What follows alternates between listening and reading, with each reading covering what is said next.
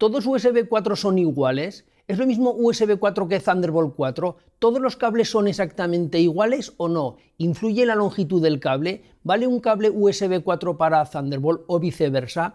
¿Los docks son exactamente igual? ¿Un dock que tenga un dock con conector USB 4 es igual uno a otro? ¿Valen los docks USB 4 para los Thunderbolt? Son muchas dudas que a vosotros os surgen, son dudas que muchas veces me preguntáis y también viene a raíz de que hace poco he presentado os he traído aquí varios mini PC unos de ellos tenían conector USB 4, otros tenían conexión Thunderbolt. Decía muchas veces que Thunderbolt 4 y USB 4 era lo mismo, realmente no es lo mismo, pero me voy a explicar ahora para que veáis, para que en según en ciertos entornos sí que puede llegar a ser lo mismo, pero bueno, si tienes alguna duda sobre esto, porque también todos los no son iguales, tarde o temprano seguramente vas a plantearte comprar un ordenador, comprar un cable, comprar un adaptador, comprar algo que sea Thunderbolt o que sea USB 4, porque son los nuevos estándares que hay, por lo cual si tienes dudas de cuál comprar, si tienes dudas de cómo funcionan, si tienes dudas de si hay diferencias entre uno y otro, si son compatibles, cuándo los podemos mezclar, quédate, te lo voy a explicar y empezamos. Antes de continuar, quiero darle las gracias a GVGMOL por patrocinar este vídeo. Ya sabéis que GVGMOL es una tienda especializada en licencias de Windows y de Office. También tiene videojuegos, pero yo me centro más en las licencias de Windows y de Office. Ya sabéis que son licencias legales. A mí no me gusta el software ilegal porque trae muchísimos problemas. El bajar un crack y meter un software ilegal os puede traer muchísimas complicaciones y por el precio que tiene no vale la pena. Vamos a ver que son muy baratas, son totalmente confiables, así que venga, vamos a verlo. Aquí estamos en la web de GVGMOL y aquí vemos que tenemos las diferentes licencias de Windows y de Office. Y luego la compra evidentemente es muy sencillo. Basta con ir a cualquiera de las licencias, le damos a comprar ahora, vemos que el precio es muy barato, es de 20 euros, pero tenemos un código de descuento. En las notas del vídeo vais a tener el código de descuento y vemos que se queda en 15 euros, es decir, un descuento del 25%. Y aquí evidentemente elegiríamos ya el método de pago. Y vamos a proceder a la activación del Windows 10 Pro. Vamos a ajustes y nos dice que no está activado. Hago clic en activar y vamos a meter la clave de producto. La metemos y le damos a siguiente está verificando que sea un código correcto, evidentemente es correcto y ahora le damos a activar. Y ya está, nos dice que ya está activado, que nuestro Windows ya es legal. Thunderbolt 3, Thunderbolt 4, USB 4, USB 3.0 en las diferentes versiones que hay. Sabemos que hay diferentes generaciones, se ven como generación 3.1, 3.2, las diferentes generaciones que hay, ¿qué problema tienen? Que utilizan el mismo conector, que es este conector de aquí, que es el USB tipo C, este de aquí. De hecho, este, este es un conector Thunderbolt y este es un conector USB-C y son exactamente iguales, luego lo explicaré que estos tienen siempre el dibujito del rayito y bueno, ¿qué problema tienen? Que el conector es el mismo y eso induce a error, ¿por qué? Porque aunque el conector sea el mismo, luego la tecnología que tienen por detrás no es la misma, sí que hay diferencias entre un tipo de USB y entre un tipo de Thunderbolt y otro. Por ejemplo, si tenemos un cable Ethernet como este, el conector es el conector RJ45, en todos conectores Ethernet es el mismo tipo de conector, el mismo tipo de clavija, pero sin embargo el cable es muy diferente. Podemos tener diferentes tipos de cable, tenemos los cables que se catalogan en función de la calidad por categorías, tenemos la categoría 5, 5E, 6, 6A, 7, diferentes tipos de categoría con diferentes tipos de prestaciones, podemos alcanzar distinta velocidad en función del tipo de cable. El cable también puede ser apantallado, no apantallado, tenemos el cable UTP, FTP, tenemos diferentes tipos de cable, pero el conector es el mismo, es decir, yo veo este conector y no puedo saber la calidad o el tipo de conexión que puedo alcanzar con este tipo de cable. Pues ocurre exactamente lo mismo aquí. Una cosa es el conector, que sea el conector USB tipo C, que en todos es lo mismo, pero el cable y las prestaciones son muy diferentes.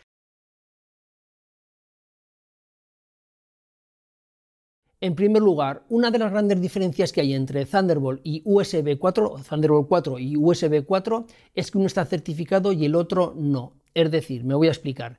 Cuando nosotros compramos un equipo o un cable que es Thunderbolt 3 o Thunderbolt 4, las características que tiene que cumplir las cumple, porque si no, no lo certifican y no se puede vender. Las características que voy a explicar ahora. Sin embargo, en USB 4 no está certificado, por lo cual las características que debería tener las puede tener o no. Y eso induce a muchísimos errores. Por ejemplo, Nosotros en una conexión Thunderbolt 3 y Thunderbolt 4 tiene una velocidad de 40 gigabits por segundo y siempre puede alcanzar 40 gigabits por segundo porque está certificado. Sin embargo, en USB 4 no. En USB 4 tenemos tres velocidades. Tenemos USB 4 de 10 gigabits por segundo, de 20 gigabits por segundo y de 40 gigabits por segundo.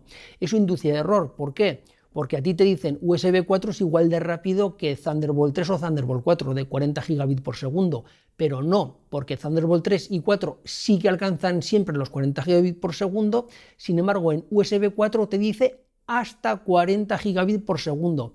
Y tienes cables y tienes ordenadores o, como veremos luego o dock o equipos que son USB 4 pero sin embargo son de 20 gigabits por segundo o de 10 sí que puede haber los de 40, pero te tienes que fijar que sea de 40 gigabits por segundo.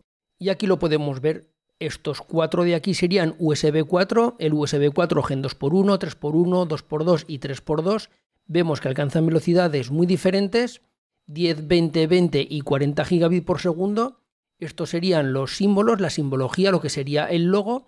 Y algo muy importante es que aunque dé 10 gigabits por segundo exactamente igual que el USB 3.2, lo que sí que cambia es la codificación. Ahora no lo voy a explicar, pero bueno, cambia el tipo de codificación y como podemos ver dentro de USB 4 tenemos diferentes velocidades 10, 20 y 40.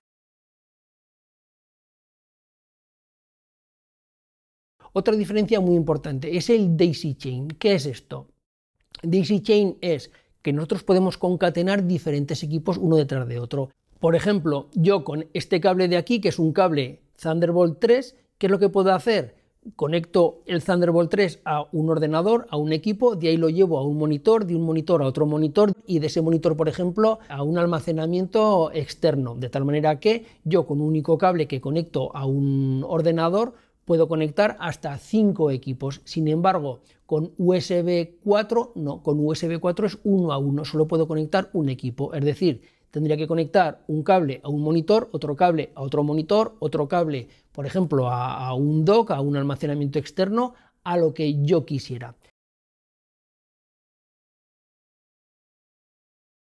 En un cable como este o en una conexión Thunderbolt, ¿qué es lo que tenemos? Que por el mismo cable Thunderbolt, ¿qué es lo que podemos llevar? Podemos llevar una señal de vídeo porque soporta HDMI, soporta DisplayPort, por lo cual podemos conectar monitores. También podemos llevar internet, porque también podríamos llevar internet, podríamos llevar datos y también tiene soporte PCI Express. ¿Y eso qué implica? Implica que, ya sabéis que una PCI Express lo que hace es directamente, es como si la pincháramos, lo he explicado en muchos vídeos, como si esas pistas de la PCI las pincháramos directamente al procesador. No van a través de ninguna controladora y es una conexión directa, por eso es tan rápido. Por eso los M2, las memorias de almacenamiento M2 son tan rápidas y son más rápidas que las SSDs con conexión SATA.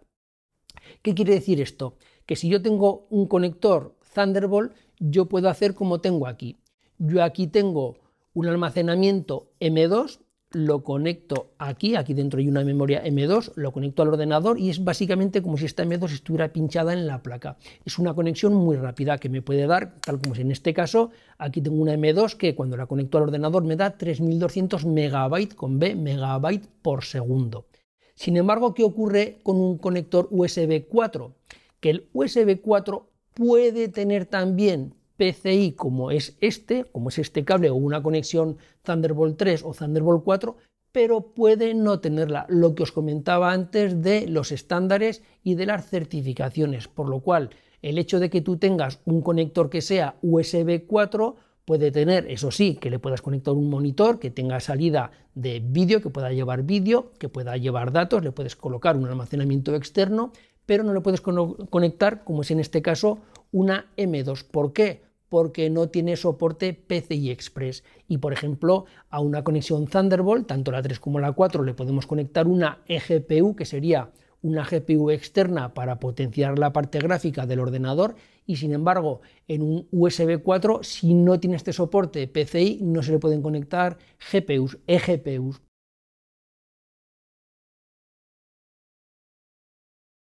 Más diferencias, los cables. ¿Por qué? Volvemos a lo mismo. ¿Qué ocurre con Thunderbolt? Thunderbolt 3 soporta velocidades de 40 gigabits por segundo, igual que Thunderbolt 4, pero la gran diferencia entre Thunderbolt 3 y Thunderbolt 4 es que, por ejemplo, mirad, a ver, un cable, tenía por aquí un cable este.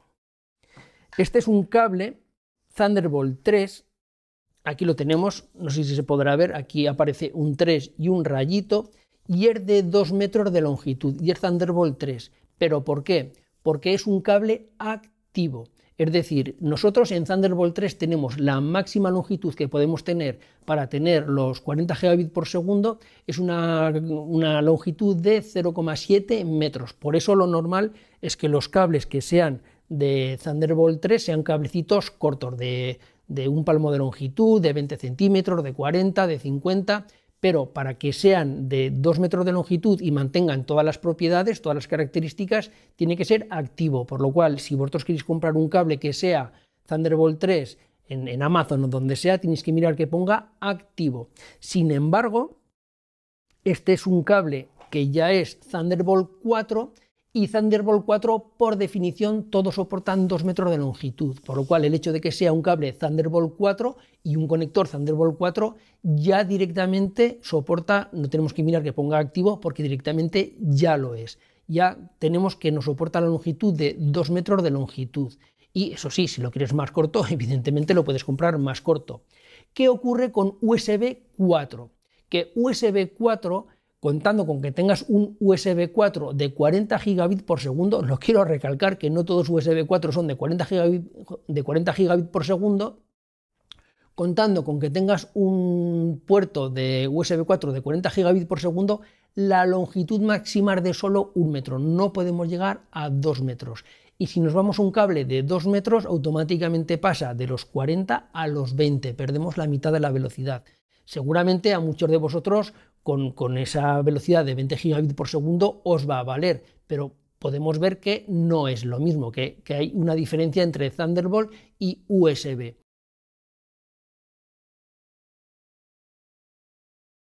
Más diferencias entre Thunderbolt 4 y USB 4, el número de pantallas que podemos conectar.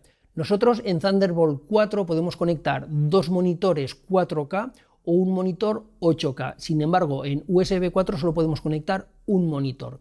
Y luego, ¿por qué os decía que muchas veces esta diferencia entre Thunderbolt y USB 4 no es importante para vosotros cuando estaba hablando de los mini PCs y os comentaba que tenía una conexión Thunderbolt 4 o USB 4? Muy sencillo, porque muchas de estas características vosotros, quitado que sea a nivel profesional, no las vais a utilizar.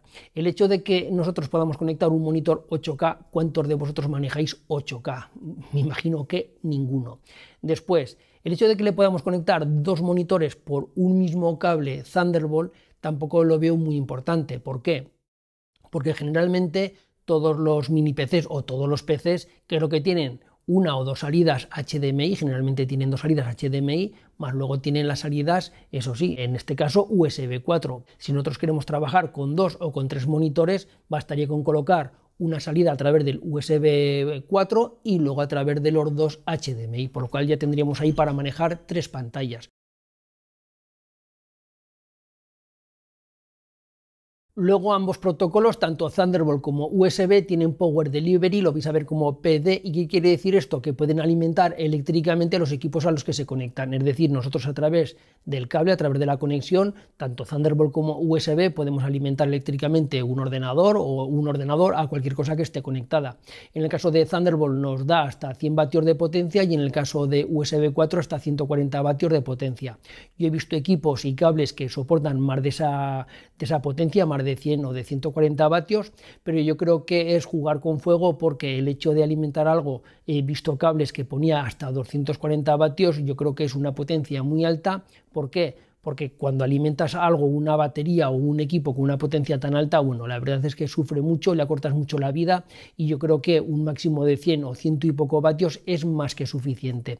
Y después una diferencia que hay entre Thunderbolt 3 y Thunderbolt 4, y es una diferencia que la veo muy menor, pero bueno, os la comento, es que en el caso de Thunderbolt 4 tenemos una especie de Wake on LAN, sabéis que Wake on LAN es poder despertar un equipo a través de la red, pues sería algo parecido. En, el caso de Thunderbolt 4 tenemos para poder despertar los equipos que están conectados a través de Thunderbolt 4.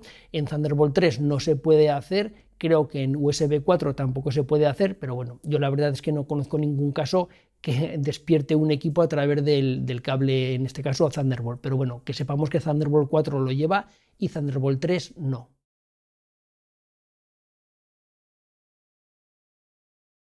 Y luego otra curiosidad de Thunderbolt 4 es que es una conexión más segura. ¿Por qué? Muy sencillo. Porque requiere protección de acceso a memoria. Cuando hacemos un acceso directo a memoria requiere que esté protegido. Es lo que se llama DMA. Esto está dentro de Intel, dentro de lo que se llama VTD. Y bueno, que sepamos que es una conexión más segura porque la, conexión a memoria, el acceso a memoria es un acceso a memoria protegida DMA.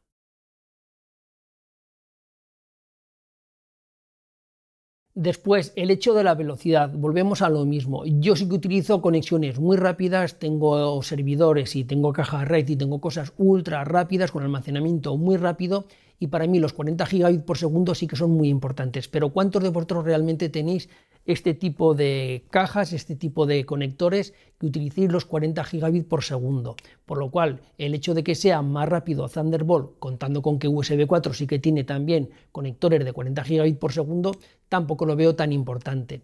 Después, la longitud de los cables exactamente lo mismo. Muchos de vosotros cuando utilicéis este tipo de periféricos, ¿qué es lo que hacéis? Conectar al ordenador con un cablecito corto, un almacenamiento externo, el típico almacenamiento SSD o alguna cosita así, por lo cual tampoco lo veo tan importante. Y bueno, como habéis visto, Thunderbolt 4 es superior a USB 4, pero realmente en el día a día, quitado que seas un profesional, realmente muchas de las características que tiene la gente habitualmente no las utiliza, por lo cual para mí en muchísimos casos, vuelvo a repetir, en caso de usuarios domésticos que no sean profesionales, muchas veces USB 4 y Thunderbolt 4 se van a comportar de la misma manera. Eso sí, en USB 4 tenéis que mirar muy bien qué es lo que compráis.